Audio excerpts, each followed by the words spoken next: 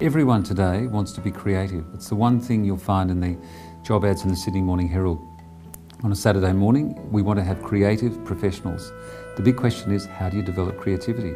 Well, our answer to it is to develop it at the age when we are the most creative, and that's when we are young.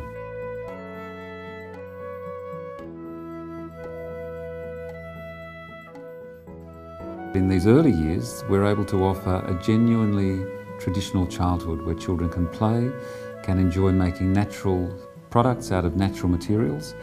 It's not saying that, oh, they're never ever going to watch television or they can't deal with technology because, of course, they will. By the time the students have finished high school, they're absolutely technologically competent. The children have experiences that children love to have. Our kids love going to school. They actually get upset if they get sick or can't go for whatever reason it might be.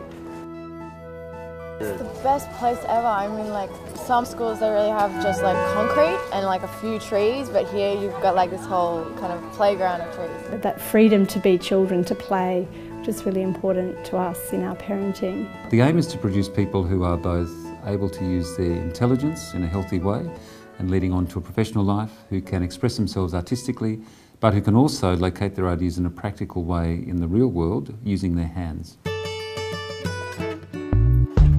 starts with the little ones in uh, preschool and kindergarten learning to finger knit. You're holding something and you pull it through. So you're constantly gripping, grip, grip, grip. You're crossing over the midline, and for those in educational psychology, that's a big thing of being able to write. By the time they're in year seven and eight, they're able to make uh, simple furniture, to make their own clothes, and then students from there can go on and do design and technology as a subject in the HSC as an elective. There's a full range of sports offered. They do at least up to 80 to 100 minutes of sport every week. We really encourage students to get into their community and meet their community members. The outdoor program starts in year four where the students go camping and this builds up into a whole range of camps through the high school. They learn how to research on the internet, they learn the correct way of uh, writing up a bibliography. Every child here learns an Asian language, uh, all the way from year one, and a European language. Something that most people remark on is that the, the general knowledge that um, Steiner graduates have is, is just immense and really impressive. They join a huge range of different disciplines when they leave school, so I don't think we're preparing students for one thing or another they're just well prepared for whatever it is that they decide they need to go into. For us then, it's important that the teacher who takes them on in class one forms a relationship that can then flow on through the primary years. So the class teacher that the children meet in year one takes them through those, those years, takes them into class two, into year three, year four, and so on. Being a teacher at the school is a wonderful creative process. It's like having a wonderful, huge creative project that lasts for years.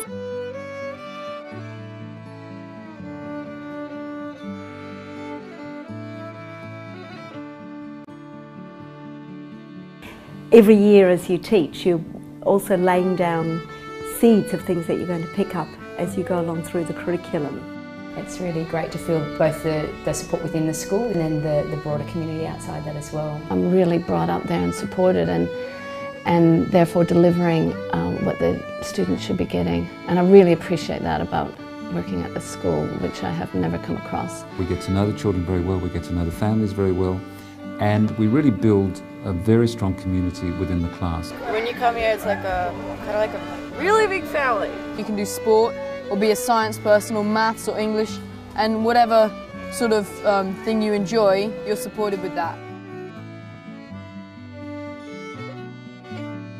The overriding barometer is they're so happy to be here. They don't want to get sick because they don't want to miss school. I think it's just amazing to watch the children develop into incredible independent um, beings that are very socially aware and contribute very positively. Once you're here and you see the children working and you see their enthusiasm for work and you see their books, you can just see that they, they are really involved. Adults will often comment on the confidence that my children have in terms of being able to interact and express their views and just, just cope with a whole lot of things.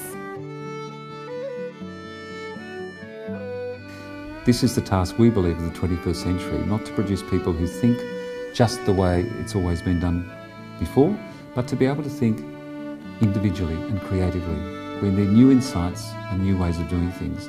And our task as a school is to provide the environment that will help the young students going through our school to find their own individual understanding.